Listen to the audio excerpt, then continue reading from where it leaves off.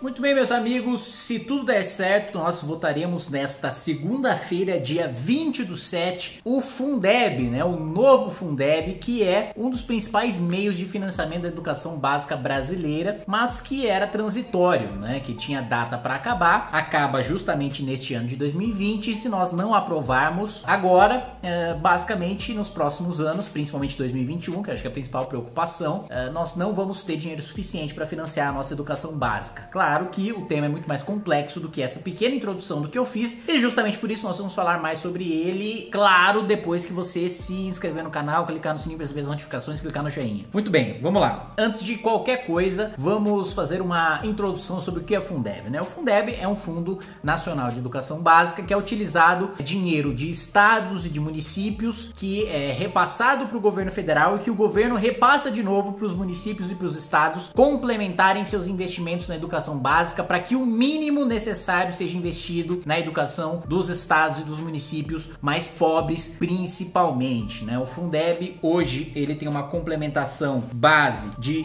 10%, sendo responsável por 4 de cada 10 reais gastos pelas redes públicas de ensino. E a gente sabe que no Brasil o financiamento do ensino básico público é muito precário. Né? Aliás, esse é um dos temas que a gente precisa conversar nesse vídeo, que é justamente essa questão do financiamento financiamento da educação brasileira. O ensino superior recebe muito investimento no Brasil, ainda mais quando a gente compara com outros países, a proporção de investimento no ensino superior no Brasil em relação ao ensino básico é muito alta, o que é completamente irracional. Não faz sentido você investir pesado proporcionalmente no ensino superior quando no ensino básico você tem uma evasão escolar acima de 50%. Ou seja, mais de metade dos brasileiros largam a escola e não chegam numa universidade. Não faz sentido investir é, mais na universidade do que no ensino básico quando a população mais pobre está fora das universidades. E não tem cota que resolva esse problema porque nenhuma cota coloca quem saiu do ensino médio para ter que trabalhar para sustentar a própria família dentro da universidade. Cota só serve para a exceção, que é quem consegue terminar o ensino médio, que é, em regra, a elite de quem estuda dentro de escola pública. Por exemplo, eu pessoalmente teria direito à cota, né, no, por ter estudado escola pública no ensino médio, porém eu estudei numa boa escola pública de ensino médio que é excepcional no Brasil, né? É diferente da regra que é, são escolas subfinanciadas, que são escolas com falta de professores, que são escolas com, uh, uh, com professores que muitas vezes dão aulas que sequer são da sua área de formação, enfim, com falta de estrutura básica, com falta de saneamento básico na escola, com falta de água, muitas vezes com as crianças indo para a escola basicamente para comer, para ter a merenda e não para estudar, porque a família é tão miserável miserável, tão pobre que para o filho comer precisa mandar para a escola para merendar porque em casa não tem dinheiro para financiar essa escola. Muito bem. Esse é um primeiro ponto para afirmar para vocês que o problema da educação brasileira como um todo não é dinheiro. O problema do ensino ba um dos problemas do ensino básico brasileiro é dinheiro sim, né? Nós temos sim um problema de estrutura básica no ensino básico. O que não é problema da educação como um todo, porque em relação à educação como um todo, em termos proporcionais ao PIB, a gente gasta mais do que o Japão, a gente gasta mais do que a Itália, a gente gasta mais do que os Estados Unidos, a gente gasta mais do que a maior parte dos países desenvolvidos proporcionalmente em relação ao PIB, porém, um, a gente gasta mal, a gente gasta muito com burocracia, muito com gente que nunca pisa na sala de aula, muito com estrutura burocrática, né? No Japão, por exemplo, que eu tive a oportunidade de conhecer a estrutura das escolas no ano passado, o máximo que você tem de estrutura administrativa é um diretor por escola, sempre, e em algumas escolas você tem vice-diretores, né? O de resto é professor que trabalha em sala de aula e que ao mesmo tempo também conduz também auxilia na administração da própria escola, né? Também trabalha na questão administrativa da própria escola. Então, você tem pouquíssimo gasto com intermediários, né? Que é uma coisa que você tem muito no Brasil. E um outro ponto é, além da, da má gestão, você tem uma desproporção no investimento no ensino superior, o que faz com que você tenha aberrações como, sei lá, o jardineiro da USP ganhando 8 mil reais por mês, enquanto você tem a maior parte dos professores de ensino básico não recebendo nem metade disso. Né? Então, você tem esses problemas estruturais de gestão mesmo. Primeiro, populismo de boa parte dos administradores de universidades públicas que prometem aumentos de salários quando o, a prioridade da universidade deveria ser pesquisa, inovação, estrutura em sala de aula. E também a, a falta de capacidade e o interesse corporativo ou corporativista de políticos que querem manter aqueles cargos burocráticos dentro da administração ou mesmo o próprio corpo ali de, de sindicalistas profissionais é, da educação que querem manter uma estrutura burocrática só para deixar aquele pessoal encostado desvalorizando quem realmente trabalha, quem realmente produz e valorizando aquele cara que está lá para um cargo que sequer deveria existir, segundo as melhores estruturas de educação do mundo. Muito bem, feito esse preâmbulo, o Fundeb é fundamental para o financiamento da educação básica brasileira, justamente por causa dessa deficiência que a gente tem em relação ao ensino superior. Vai muito dinheiro para o ensino superior e pouco dinheiro para o ensino básico. A gente está basicamente falando de um complemento de 16 bilhões de reais por ano, né? O que, levando em consideração todo o orçamento da União ou mesmo o investimento na própria educação, não é uh, ainda dinheiro suficiente para financiar a reestruturação da educação básica brasileira. E ainda assim, né, o governo Bolsonaro, que não participou da discussão do novo Fundeb, que a Câmara dos Deputados levou com muita responsabilidade, escutando vários profissionais, gestores públicos, fazendo os cálculos de impacto orçamentário, o governo Bolsonaro não participou da discussão mais importante para a educação brasileira, que é a discussão sobre o Fundeb. Né? O Weintraub basicamente é, não participou de nenhuma discussão, não deu opinião nenhuma, não apresentou dado nenhum, não estruturou nada, porque basicamente era um, era um ministro lacrador de Twitter. O ministro que acabou de chegar sequer tem coragem de entrar na discussão, porque vai, já tá pegando um bonde andando, a votação já vai ser agora. Então o governo não participou da discussão. Do nada, neste final de semana, vem o Bolsonaro, pede para se reunir é, com a relatora, né, a deputada Dorinha, que fez um excelente trabalho, aliás, no relatório do, do Fundeb, e diz: Olha, Dorinha, eu quero tirar a parte desse dinheiro do Fundeb para passar pro meu novo programa social aqui, o Renda Brasil. Primeiro, o primeiro impacto é o seguinte: peraí, presidente, você tem a cara de pau de não participar de discussão, discussão nenhuma, e quando é para participar da discussão, você tá falando que você quer tirar dinheiro da educação básica para dar pro seu novo programa social, pra você aumentar a popularidade entre a camada mais pobre da população, só para você substituir o Bolsa Família, trocar de nome, colocar 20, 30, 40 reais a mais, tirando dinheiro da educação básica, em vez de você promover corte, como a reforma administrativa que você não manda um ano, em vez de você acabar com 300 bilhões que, de renúncia fiscal que você tem,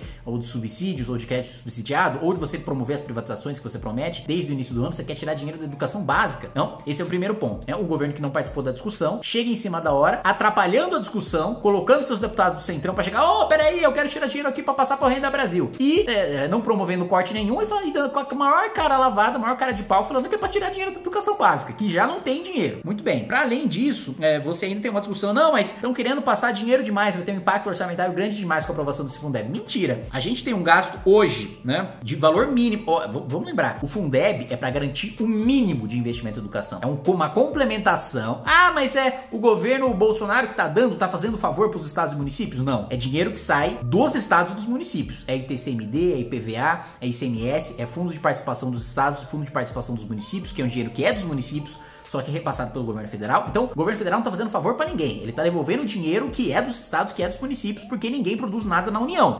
as empresas estão nos estados, estão nos municípios. O dinheiro é dos estados é dos municípios. O governo só tá fazendo repasse que ele é obrigação legal fazer esse repasse. Não é, ó, o governo Bolsonaro tá dando dinheiro para governador, para prefeito. Não é nada disso. Tá financiando a educação básica de estados e municípios que não tem o mínimo para investir nos alunos. E qual é o mínimo? O mínimo é R$ 3.427 por ano por aluno. A gente está falando de 280 185 reais por mês. É uma miséria, é o mínimo só. E esse o Fundeb é justamente para garantir o mínimo. E a gente quer passar esse valor de 3.427, né, 3.427 para 4.778, que é, é 398 reais, ou seja, ou seja, 400 reais por mês por aluno, que é uma quantia básica decente, se bem administrada, suficiente até para a gente desenvolver bem a nossa educação básica. A gente não tá falando de nenhum absurdo. Ah, mas eu vi alguns estudos aí falando que vai ter impacto de 400 bilhões de reais. Estudo falso, cálculo falso, né? Os números com bastante bastante clareza, eles, esse tipo de cálculo ignora que o Fundeb leva em consideração no seu cálculo de repasse o quanto é arrecadado, porque é dinheiro dos estados e dos municípios que depois é repassado de volta, que, que depois é enviado para a União e que da União daqui de Brasília a gente manda de volta para os estados e municípios investirem obrigatoriamente na complementação do gasto mínimo com educação por aluno que cada estado e cada município precisa ter, né? Então, é uma falácia dizer que vai ter 400. O impacto verdadeiro da consultoria da Câmara dos Deputados é de 130 bilhões de reais reais é, ao longo de 10 anos, né? Ou seja, um quinto do que a gente conseguiu com a reforma previdenciária e que é um gasto significativo, sim, é um gasto significativo. Porém, primeiro, necessário para desenvolver nossa educação básica e segundo, que você pode facilmente conseguir esse dinheiro com de, de fluxo, né? Não tô falando de caixa, né? De, de dinheiro que vai ficar lá de estoque, né? Que você vai tirar e aí não vai ter mais esse dinheiro. Então, privatização não basta, porque privatização é estoque. Você pega uma vez e aquele dinheiro não continua vindo, não é fluxo. Dinheiro de fluxo que a gente consegue ter, reforma reforma administrativa, coisa que já era para o governo ter mandado e aprovado no ano passado, mas não teve coragem de mandar até agora. Cortar salário de elite de funcionários público, de juiz, de promotor, de deputado federal, de senador, de servidor público federal. Né? Isso sim o governo precisa fazer e é um dinheiro mais do que suficiente, daria uma economia muito maior do que 130 bi em 10 anos. Né? Eu usaria dizer, daria pelo menos 5 a 6 vezes mais uma, uma reforma administrativa minimamente decente. Né? É, e um outro ponto é que 2,5% desse recurso vai ser distribuído nas redes que tenham bons resultados, ou seja, vai passar a ter um, um critério meritocrático para o repasse de verba federal para o ensino básico dos estados e dos municípios de acordo com o seu desempenho. Né? Um ponto polêmico e que eu pessoalmente sou contrário do relatório da deputada Dorinha é de que 70% do dinheiro do Fundeb seja para pagar professores e profissionais da educação. É, eu sou contra qualquer vinculação de despesa, né? Eu acho que o máximo que você puder dar a liberdade do gestor público para gastar o dinheiro como for, para se adequar à sua realidade local, melhor. Porém, hoje, né, segundo um levantamento é, também da Câmara dos Deputados, a média de gasto com folha de pagamento dos profissionais da educação em relação ao repasse do Fundeb já é muito acima de 70%, né? Os municípios gastam para além do Fundeb aquilo que eles recebem. Então você tem gastos que variam de 100 a 180% do repasse do Fundeb com profissionais de educação. Então você já tem é, esse gasto e essa vinculação na prática, na teoria eu sou contrário por princípio, mas na prática não tem efeito nenhum. E para finalizar, né, hoje já 80% dos gastos com educação básica eh, são gastos levados em frente pelos estados e pelos municípios, que como a gente sabe, recebem menos dinheiro do que a União, do que o governo federal. O Fundeb,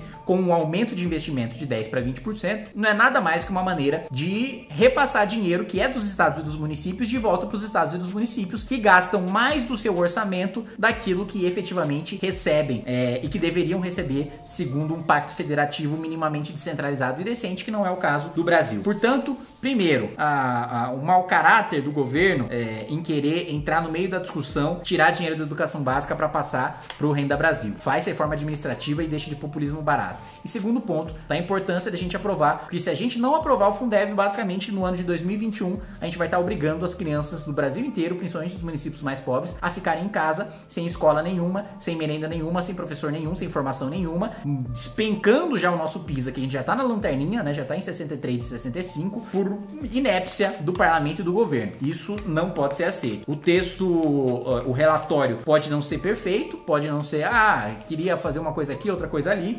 porém, o fundamental está no texto, que é manter e, e equalizar, aliás, e, e subir a patamares civilizados o investimento em educação básica. Lembrando que eu falei no início do vídeo que o problema da educação brasileira está longe de ser apenas o orçamento, né? O orçamento é um problema para a educação básica, mas não para uma educação, não para educação no geral. Pessoalmente, eu até defendo que você cobre mensalidade de universidades públicas de quem pode pagar, que é a grande maioria, né? Tem até estudos sobre isso, para reverter isso para o ensino básico, para a gente diminuir essa distorção que a gente tem, porque basicamente o investimento em educação pública brasileiro vai para as elites brasileiras, que é quem, em regra, frequenta a universidade pública. Pobre não frequenta a universidade pública porque pobre sai do ensino médio, do ensino fundamental, antes de concluí-lo, portanto, nunca presta vestibular com cota ou sem cota. Então, é, mas essa é uma discussão mais ampla que a gente poderia fazer e que, inclusive, é um, uma das visões liberais, né, sobre financiamento de educação. Mas, de todo modo, é fundamental que a gente aprove uh, o Fundeb e que não tenha esse tumulto no texto e no debate que o governo está tentando promover.